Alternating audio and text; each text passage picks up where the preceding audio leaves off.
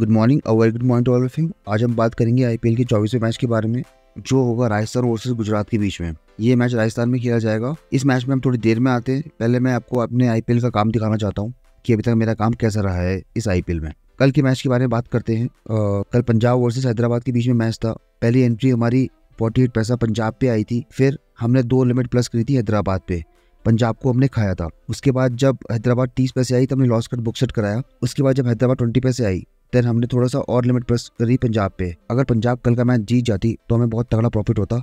पर प्रॉफिट तो हमें हैदराबाद पे भी हुआ था। Near about 80 percent of the limit हम प्लस हुए थे। अगर किसी बंदे की दस हज़ार लिमिट थी तो हैदराबाद पे आठ हज़ार प्लस था। अगर साथ ही साथ अगर पंजाब जीतती तो नियर अबाउट वो बत्तीस हज़ार प्लस होता। तो अभी तक आईपीएल में नियर अबाउट तेईस मैच हुए हैं। जिसमें मेरे तीन लॉस दो स्किप एक नो प्रॉफिट नो लॉस किया है। बाकी बचे हुए सत्रह मैच मेरे पास गए हैं, जिसमें छह सुपर जैकपॉट जिसमें बिलो फोर्टी पैसा की एंट्रीज दी हैं, छह मिनी जैकपॉट जिसमें फिफ्टी टू सिक्सटी पैसा की एंट्रीज दी हैं, और पाँच अस्सी नब्बे पैसे की एंट्रीज वाले मैच थे। चलो अब बात करते हैं राजस्थान वर्सेस गुजरात के बारे में। So according to me and according to my work अगर राजस्थान फ़र्स्ट बैट पे आता है then Rajasthan will win this match in a jackpot style और अगर गुजरात फ़र्स्ट बैट पे आता है देन मैं टॉस के बाद अपनी टीम अपडेट करूँगा मैं टेलीग्राम चैनल पे। So it's my humble request आप मेरा सारा का सारा काम देखो। अगर काम पसंद आया तो मेरे आप टेलीग्राम पे जुड़ जाना। आपको काम यूट्यूब पे भी देखना है और टेलीग्राम पे भी देखना है। दोनों को क्रॉस चेक करके अगर आपको मेरे विश्वास होता है ट्रस्ट होता है देन ज्वाइन करना। अगर आपको काम करना है सीरियस को काम करने के लिए, तभी ज्वाइन होना। B honourable